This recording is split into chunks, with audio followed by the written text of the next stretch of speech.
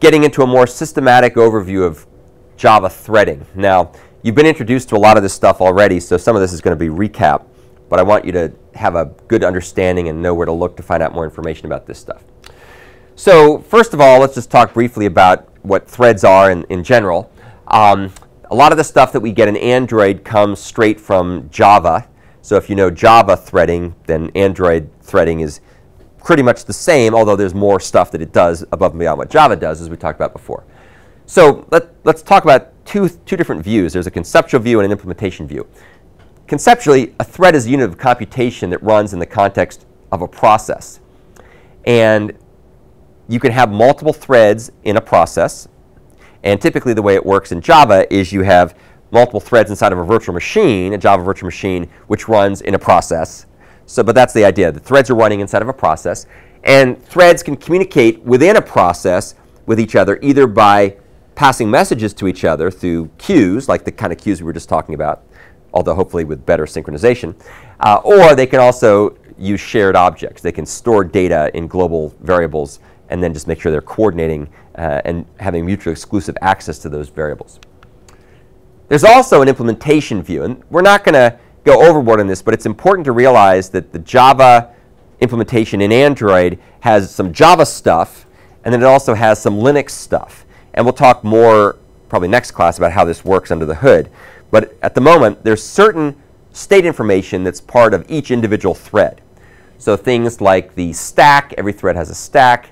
Every thread has a program counter, which is keeping track of where it's executing in that, uh, in that program. And it also has other registers, frame pointers, various registers for storing results of certain kinds of computations or function calls or th those kinds of things. So that's all its unique state. So there's certain things that are unique in a per thread basis. Thread specific storage, for example, or what Java calls thread local storage. There's also state that's shared between other threads within the same process or the same virtual machine. This is the common state. So this would include things like the global heap.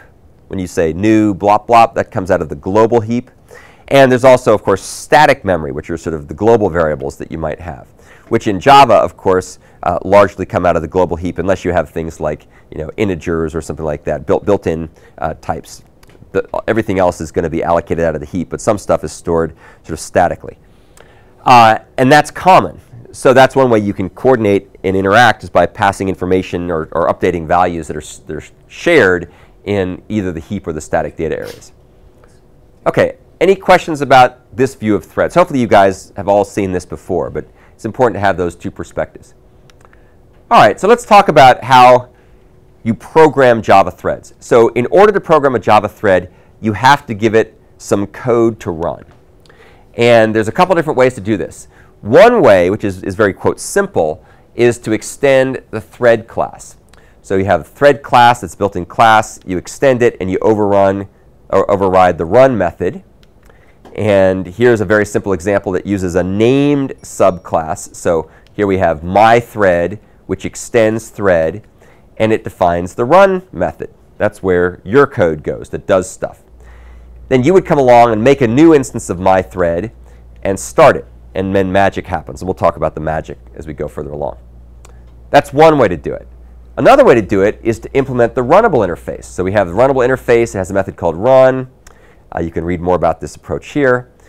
And in this case, we're going to implement the runnable interface and fill in the run method. And there's two ways to do this. One way to do this is to have a named subclass as the runnable.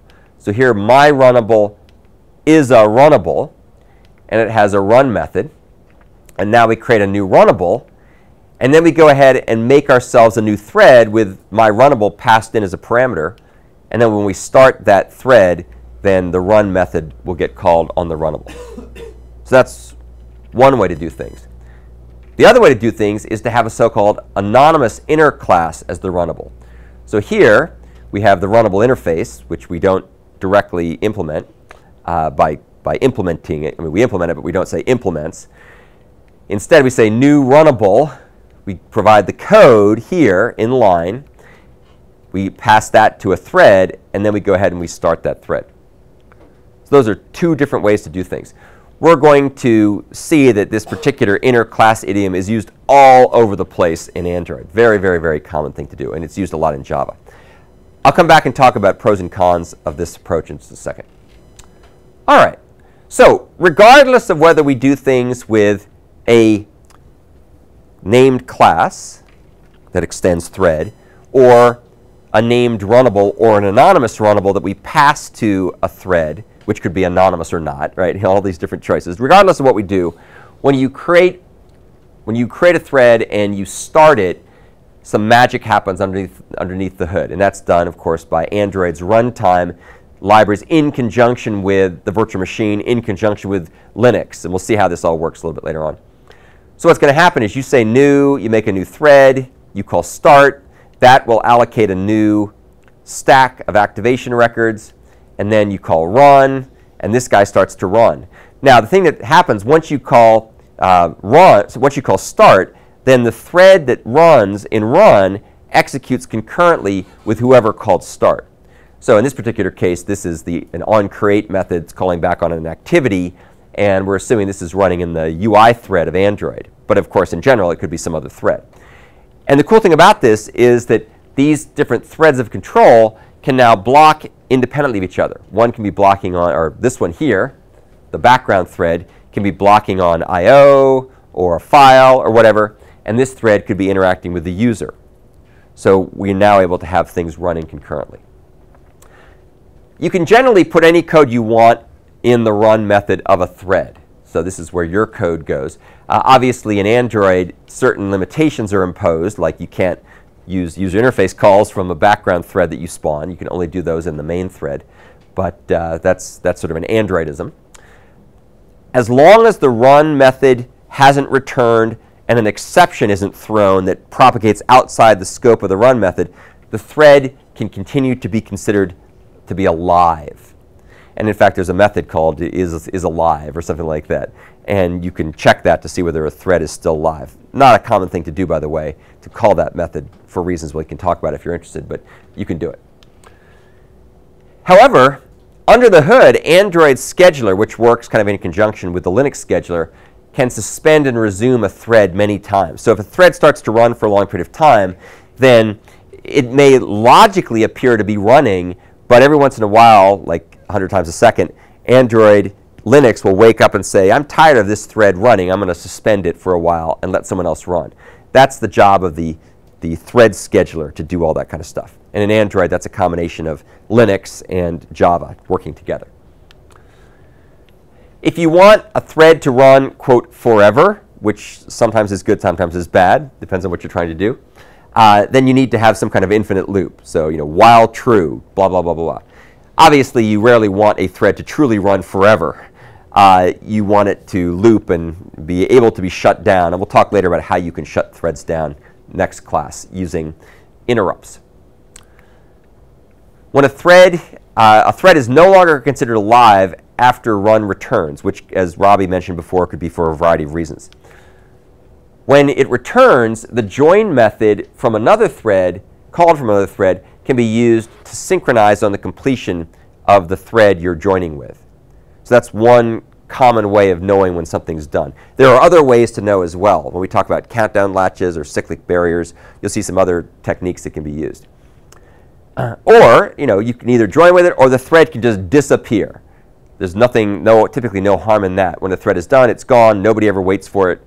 Nobody ever knew it was there in the first place. Perhaps nobody even knew it was gone. Right? It's like Eleanor Rigby. You know, people didn't even come to her grave. It was very sad. Um, the Java virtual machine will recycle the resources associated with the thread. So when the thread goes away, that stack, the registers, the state, blah, blah, blah, gets recycled. OK, any questions about that? Yeah? Who's Eleanor Rigby? Eleanor Rigby. It's a Beatles song, Eleanor Rigby. It's, uh, if, you, if you Google Eleanor Rigby, it's a very famous song. She picks up the rice in a church where a wedding has been. She lives in a dream, waits by the window, wearing a face that she keeps in a jar by the door. Who is it for? All the lonely people. So, anyway, great song. I don't know why I know those kind of things. I can't remember my, my parents' birthday, but I know the words to, you know, Eleanor Rigby. there's a couple of types of Java threads, user threads and daemon threads. By far, you're going to run across user threads. I just want you to be aware that there are daemon threads.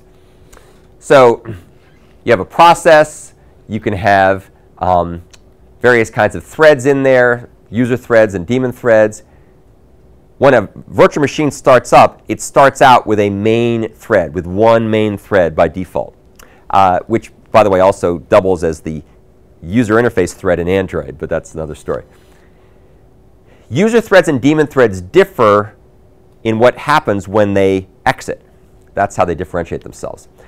When the main thread exits, other user threads will continue to run, and, and, actually daemon threads for that matter as well. So, so when the main thread exits, other threads that are user threads or daemon threads will keep running. However, when all user threads have gone away, the daemon threads will shut themselves down.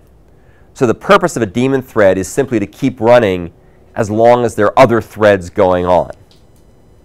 But when all those threads shut down, they shut down themselves automatically, which is kind of interesting.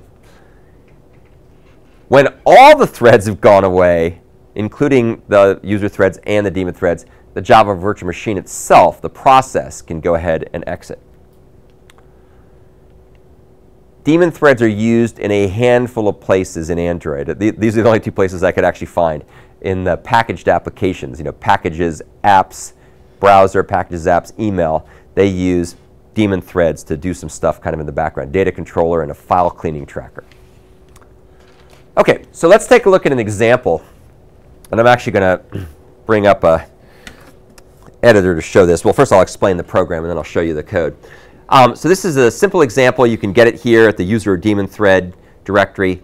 And it's going to compute the uh, GCD of uh, two numbers.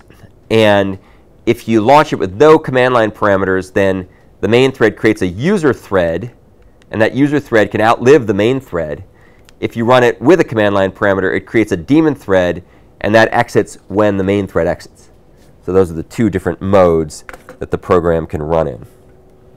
Let's go ahead and see if we can bring up the editor. And we'll find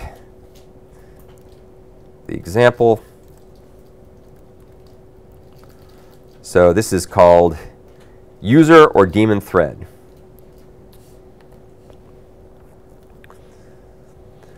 All right.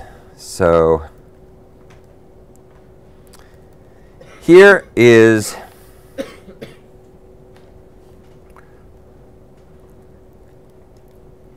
Here's the, the, cl the, class itself. User or daemon thread extends thread, and it gives a big max iterations. And uh, it's passed in a parameter that says whether it's a daemon thread or not. And if it's a daemon thread, it becomes a daemon. It calls the set daemon method, which it inherits from thread, by the way. And it sets the thread type, which is a string. Here's the greatest common divisor, which is the largest positive integer that divides two integers without a remainder. And we're doing this recursively just for fun. We're just burning up CPU cycles, really here's the run program, here's the run method it, it runs, and it goes through and it generates random numbers, and then it goes ahead and computes their GCD, and every uh, 10 million iterations it prints something out just to let you know it's still going. And so that's, that's the user daemon thread. And then if we go over here to the test program, you'll see that this thing checks to see whether or not you gave it a, um, a command line argument or not. It's a daemon thread if you gave it a command line argument. It's not a daemon thread if you didn't. And it then goes ahead and creates either a user thread or a daemon thread. It starts that thread, and then it has the main thread sleep for one second. And again, I won't run this, in the interest of time, I won't run this program. You can do it yourself to see what it does. What will happen is the, the main program will go ahead and start. You'll see that it says entering main. And then a second later, you'll see it says leaving main. And if you ran this thing without any parameters, even after the main thread is left, you'll see that the background thread keeps computing GCD till it's done. If you give it a command line parameter, then you'll see that the background thread will compute a couple of times, but when the user, the main thread leaves, that thread in the background shuts itself down because it's a daemon thread. So just a simple example to illustrate the difference between user threads and daemon threads. Okay. So that's one thing. Then the other thing I want to show you in, in our limited time left Um, here's, a, here's another example. This one's going to use runnables instead of threads. Okay, so let's go take a look at that example. So that example is up here. That's called user or daemon runnable. And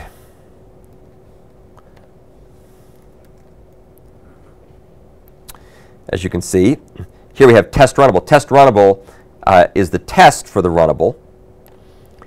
And what it's going to do is it's going to go ahead and create a runnable, which is not a thread, which we'll see in a second. And then it's going to go ahead and create a new thread using the runnable as a parameter to the thread. And then it's going to do more or less the same thing as before. The main difference here is that the GCD runnable implements runnable and extends random. And I just did extends random to illustrate one little point. If you extend the thread class directly, you can't inherit from anything else. But if you implement a runnable, then you can inherit from something else. So that's the only reason I did it, just to show I can inherit from something else. So this is a runnable, and its run method um, basically does exactly the thing that the other one did, except now it's a runnable, not a, not a thread. So why would you choose one of these things versus the other? So very quickly, the reason you would choose one versus the other uh, is the, here's some things to keep in mind. So using th extending thread is really simple. You just you have a thread, you extend thread, you're basically done, right? The problem is that it's somewhat limited because you have to inherit from the thread class, which means you can't have any other superclasses. And it also somewhat tightly couples you to threads, which may not be what you want, as you'll see in a second. Implementing a runnable, in contrast, has a few more pieces because now you have runnables and now you have to make a thread. And so you have to connect those two things together. So it's slightly, ever so slightly more complicated. But the good news, is it's more flexible. And the reason why it's more flexible is because now you don't actually have to use the thread in order to run the runnable. In particular, in Android, you can come along and you can use the HaMeR framework. You can put something into uh, you know, the UI thread and have it run that way. Um, or you can also use the executor service. So in the last couple seconds here, um, let me show you this last example, which is daemon executor. And let's go find that guy. And this is kind of cool. So what, what we do with this next example the daemon executor example. If I find it, there we go. Um, this has exactly the same runnable implementation that we had before. So if you were to go back and look, it, it has exactly the same runnable. There's no difference in the runnable implementation. However, the way in which the thing actually gets, oops, the way in which the um, runnable gets launched is now controlled by something called the executor service. And an executor service is a user, it's a useful library that's part of Android, or part of Java, which is also part of Android. And you can make a, a pool of threads. So we can make a pool of five threads or whatnot. And then we can go ahead and we can run these commands in the pool of threads. So if you have you know, n cores, you could create n threads in the pool, and then you can go ahead and scatter around the commands to run in those threads on those cores, which will make things transparently more scalable without you having to do anything else. You just basically create the right kind of executor implementation and then just give it runnables to chew on. And the cool part here, if you take a look up here, all we had to do was define something called a thread factory, which is a factory method from the Gang of Four book. And the thread factory simply determines how we create the thread.